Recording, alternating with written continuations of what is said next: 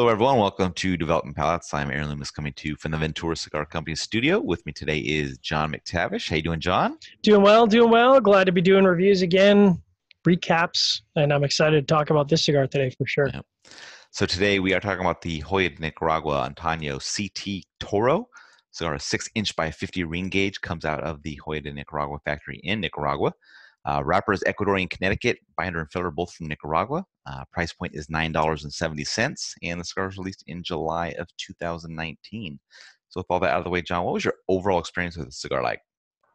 So this was a cigar I was looking forward to. I'm a big fan of a lot of Joya stuff. They knocked it out of the park in uh, 2018, of course, with multiple releases, the Silver and the uh, Cinco de. So we'll follow up with a Shade. I mean, that's a that's a bold left-hand turn, and they kind of already have a Shade-ish kind of blend on the on the market with the red, which um, I think for me the red wasn't my favorite release that Joya's done. So I was I was very trepidatious lighting this puppy up because I was like, man, like if I if I have another Joya cigar that I'm not really big on, I feel like I'm going to be uninvited from the Joya parties. but fortunately, uh, this is a this is a good cigar. This was a consistently good cigar from start to finish, and I'd say that for the Connecticut lovers out there, to me, this kind of because you know you talk about grandfather's Connecticut or New Wave Connecticut. I think this kept it perfectly within that realm of what a Connecticut like a shade blend is with added complexity that still kept the body and strength under that medium mark um, I mean, it had a lot of stuff going on here. I mean, I have like 15 different tasting notes from um, like graham cracker, a little bit of bready notes, slight pepper, a nice little bit of dark and milk chocolate, um, powdered cocoa. Um, again, sort of bready candy sweetness in the in the second third, a little bit of toasted barbecue in the last third, and, and there was something that kind of kept my attention throughout. And again, you know, for me, really important if you're going to blend kind of a traditional style Connecticut, there's a lot of Connecticut's out there and there's a lot to choose from. So you need to have something else that catches your attention.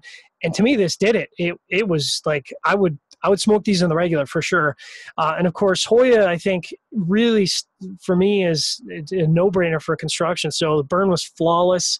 Uh, there was like maybe a slight canoe in the last third, which instantly corrected.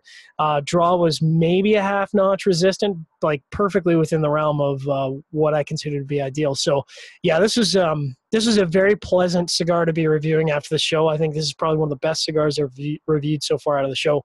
What was your overall experience like? Uh, for me, the cigar started out with oak, dry earth, and some floral perfume. Um, as it progressed, that perfume kind of left, but the floral note remained. Um, the oak also gained a little bit of toastiness to it. Um, final third had some sour and bitter notes for a short time. Um, construction was great, um, needed no attention whatsoever. Um, I think the, uh, cigar was pretty good. Uh, didn't really show much in the way of traditional Connecticut notes uh, on the negative side of things, you know, kind of like the hay or the pervasive bitterness and stuff like that. Um, strength also wasn't overpowering. Um, it doesn't seem to hit me in the Antaño line, it, you know, like it does some other people. So, I mean, it, it what, what were your thoughts on the strength level? Yeah, I mean that was that was very impressive because again, Hoy Joya I think is typically known for being medium, kind of at the lower level, right. and to me, I like you, I would say at the highest mark it was medium minus. There was no strong right. pepper. Uh, I did get a little bit of dry dry cedar and dry hay in the second third, but like you said, none of that kind of negative, harsh Connecticut quality, right. which can be unpleasant. Yeah. Yeah, so I think it's a really nice addition to the uh, Antaño line. Um, I'd have no problem going back to this cigar. Um, you know, if you're a Connecticut Shade fan, this is a cigar you have to try. Um, you know so or if you just like a smooth profile with kind of a mid-level strength um, i think this is another another way to go at this cigar so it's a very good cigar. Um, so getting to the scores uh, june and seth were also on this review they just weren't able to join us for the video. Uh, so john you and june uh, tied at 7.17 for the top rating um, I was right behind you guys at 6.72, and then Seth gave it a 5.85. So how that 7.17 match up with your experience? Yeah, that is that is a no-brainer. Um, I mean, for me, this is a absolute lock for top 25 list. Uh, like I said, I think if I go look at my scoring from the show so far, uh, and obviously we're kind of midway through the year for cigar reviews, but so far this is probably the best cigar I reviewed out of the show. Um, and like I said, I was really trepidatious going in. So I was, you know, I, I, like it when it's an easy review. It's just a good cigar. no brainer. And uh, yeah, I mean, these are on my buying note because um, if I'm looking for something light, but uh, I really want you know body. Uh, this is it. This is this is the uh, this is like what was the price point on these bad boys? Nine seventy. Yeah, see, that's that's totally reasonable for a Connecticut like this. Yep. What about you?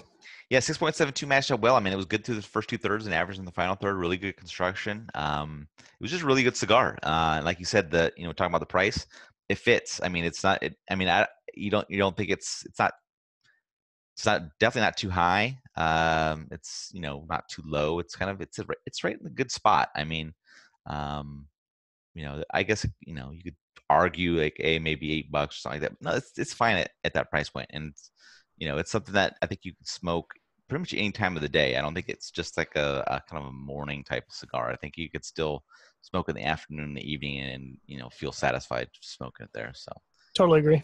Yeah.